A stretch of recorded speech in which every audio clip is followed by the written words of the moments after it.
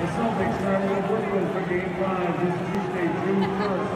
Tune in to NBC Sports Live on Celtics 126. Issues around the NBA with fans crossing the line. Somebody tossed a water bottle and it nearly hit Kyrie as he was walking to the tunnel. Tyler Johnson noticed it and the Nets began to point out who it was in that section.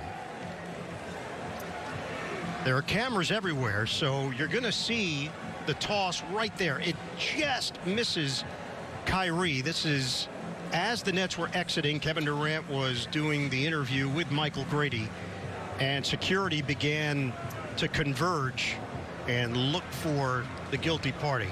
Obviously, completely unnecessary and just flat out stupid. Yeah, it's an absolute shame. And we've seen incidents during this postseason, but it, it's just a terrible.